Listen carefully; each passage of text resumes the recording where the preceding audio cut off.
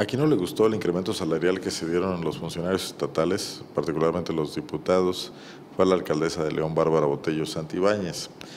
Dijo la edil priista que la creación de mecanismos para evaluar el trabajo legislativo de cada uno de los diputados es algo que debe establecerse, pues aseguró que hay algunos legisladores que solo usan la tribuna para hacer payasadas y faltar al respeto a otras personas. Obviamente usted sabe de quién está hablando.